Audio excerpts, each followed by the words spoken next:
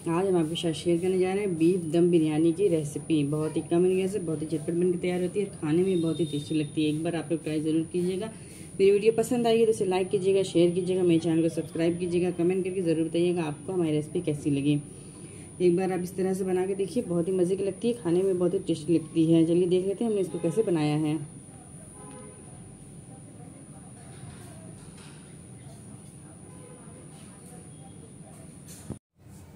बिरयानी बनाने के लिए यहाँ पे हमने 700 ग्राम गोश्त लिया है, जिसको हमने अच्छे से तीन चार पानी से धो लिया है। धो के हमने स्टेनर में रख दिया इसका पानी को हमने ड्राई कर लिया है।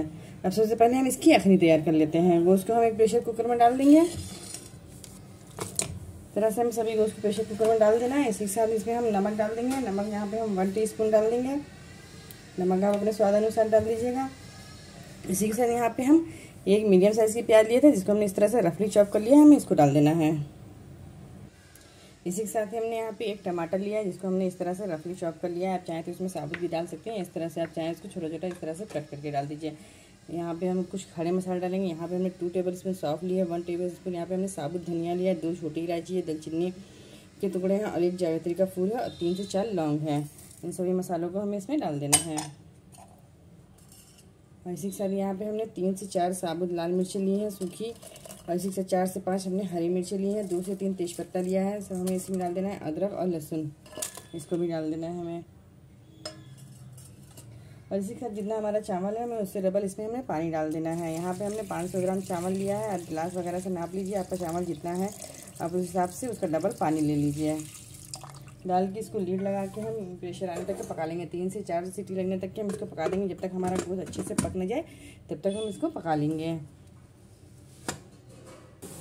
इधर जब तक हमारे गोश्त में सीटी लग रही है, इधर हमने 500 ग्राम चावल लिया है। इसको हम दो तीन पानी से अच्छे से धो के और हमें चावल को भिगा देना है। यहाँ पे हमने बासमती राइस लिया, आपके पास जो भी घर में अवेलेबल हो, आप उसको ले सकते हैं। इसको हमें अच्छे से तीन चार पानी से धो लेना है। धोने के बाद इसको हम आधे घंटे के लिए इसको भिगा के रख देंगे।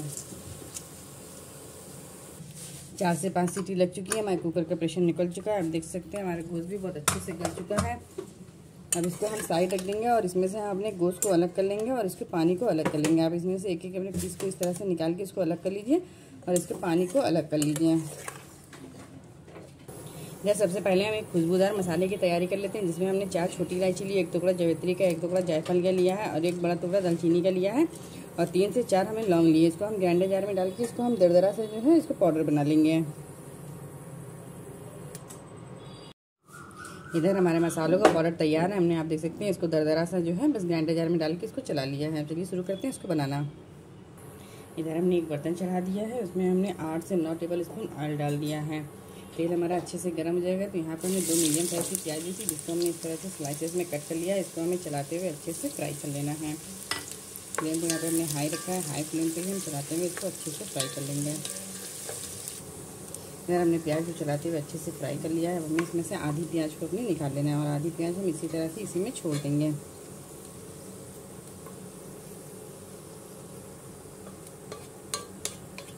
इस तरह से हमने आधी प्याज को निकाल लिया आधी प्याज को हमने इसी तरह से इसी में छोड़ दिया अब इसी के साथ हम इसमें कुछ खड़े गरम मसाले डाल देंगे। इसके साथ यहाँ पे हमने एक तेज पत्ता डाल दिया है। वन टीस्पून सहा जीरा, लौंग, काली मिर्च, बड़ी इलायची और दालचीनी। इस तरह से हमें डाल देना है।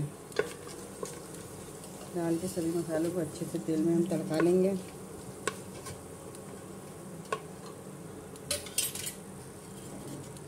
इसी के साथ ही हमने जो अपने गोश्त को निकाल के रखा था, पानी में से अलग कर दिया था हमें इसको डाल देना है। डाल के चलाते हुए तेल के साथ इसको अच्छे से फ्राई कर लेना है। जब हमने तेल के साथ गोश्त को अच्छे से फ्राई कर लिया। आप देख सकते हैं, एक मिनट हो गया हमें फ्राई करते हुए। अब इसी के साथ हम इसमें कुछ मसाला डाल देंगे। यहाँ पे वन टी स्पून हम इसमें अदरक लहसुन का पेस्ट डाल देंगे। इसी के साथ ही हम यहाँ पे वन टीस्पून जो है कुटी हुई लाल मिर्च पाउडर डाल देंगे। यहाँ पे हमने पीली लाल मिर्च पाउडर ली है। आपके पास जो भी घर में अवेलेबल है, आप उसको डाल दीजिए। यार पाँच छः हरी मिर्चें हमने उसको कूट लिया था, हमने उसको कूट के डाल दिया। आप चाहे तो उसका पेस्ट बनाकर भी डाल सकती हैं। और जो हमने अपने पाउडर बनाया था मसालों का, लौंग इलायची जैसे जैसन का हमें उसको भी इस स्टेज से डाल देना है। और इसके साथ ही हम यहाँ पर दो से तीन टेबल स्पून जो है उसमें दही डाल देंगे। डाल के हमें सभी मसालों को चलाते हुए अच्छे से भून लेना है।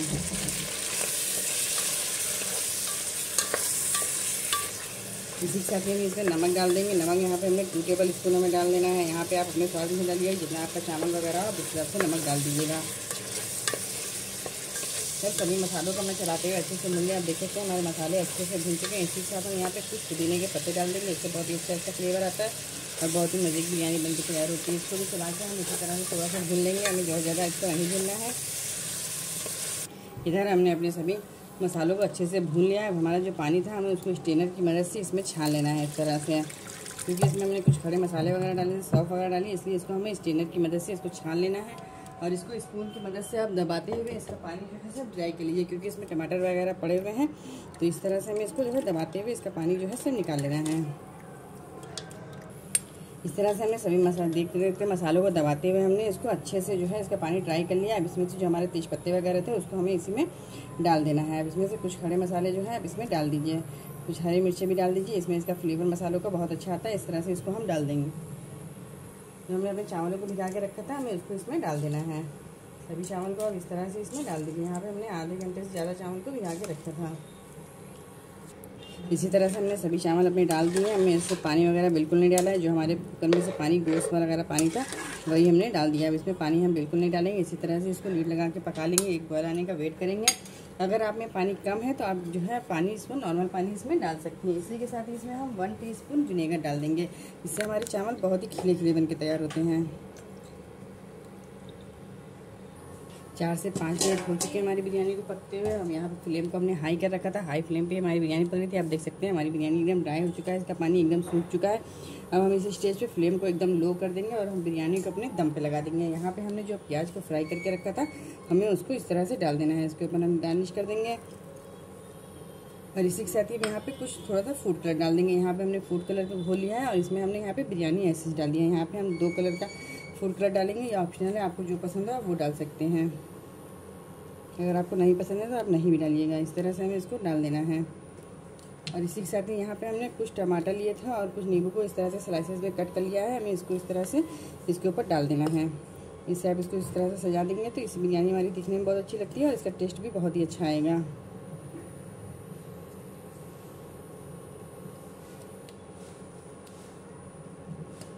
इसी तरह से हमें सभी को सजा देना है। और फ्लेम को यहाँ पे हमने बिल्कुल मीडियम टू लो कर दिया है। इसके ऊपर आप अगर भगवाना पतला है तो आप इसके नीचे तावा भी रख सकते हैं और तावा रख के जो है आप इसके ऊपर इसको दम पे लगा दीजिए। और अगर आपका मोटे तले गए तो आप इसको इसी तरह से इसको आप दम पे लगा सकते हैं। इसको हम ढक के जो है पाँच मिनट तक इसी तरह से मीडियम टू लो फ्लेम पर हम इसको दम के लिए रख देंगे। इधर हमारी बिरयानी को दम पे लगे पाँच से आठ मिनट हो चुके हैं, आप देख सकते हैं हमारी बिरयानी बहुत अच्छे से दम हो चुकी है। अब हम फ्लेम को बंद कर देंगे और पाँच मिनट के लिए पाँच मिनट बाद हम इसको सर्व करेंगे। आप जब भी बिरयानी बनाइए, आप उसको पाँच बिरयानी होने के बाद आप पाँच मिनट तक के आप उसको इसी तरह से छोड़ दीजिए तो हमारे चावल बहुत ही खिले खिले और बहुत ही अच्छे बन के तैयार होते हैं। फाइव मिनट्स हो गए देख सकते हैं हमारी बिरयानी बहुत ही अच्छे से बन के तैयार। देख सकते हैं कितने लिए हमारे चावल बन के तैयार हुआ बहुत ही मज़े की हमारी बिरयानी बन के तैयार हुई है बहुत ही अच्छी इसमें से खुशबू आ रही है। हमारी बिरयानी एकदम सर्व करने के लिए तैयार है। अब इसको हम इसी तरह से सर्व कर लेंगे। तो आप गर्मा गर्म इसी तरह से सैलड के साथ सर्व कीजिए या फिर आप रायते के साथ इसको सर्व कर लीजिए, बहुत ही मज़े की लगती है। खाने में बहुत ही टेस्ट लगती है। आपने देखा होगा कितनी आसानी से बन के तैयार होती है, जितनी जल्दी बन के तैयार होती है। खाने में भी उतनी मज़े की लगती है। एक बार आप लोग ट्राई ज़रूर कीजिएगा। जो हमने प्याज को फ्राई करके रखा था, उससे हम थोड़े से इसको गार्निश कर देंगे इस तरह से और इसको इसी तरह से सर्व कीजिए। एक बार आप लोग ट्राई ज़रूर कीजिएगा। वीडियो पसंद आएगी तो इसे लाइक कीजिएगा शेयर कीजिएगा, मेरे चैनल को सब्सक्राइब कीजिएगा कमेंट करके ज़रूर बताइएगा आपको हमारी रेसिपी कैसी लगी। एक बार आप लोग ट्राई ज़रूर कीजिएगा।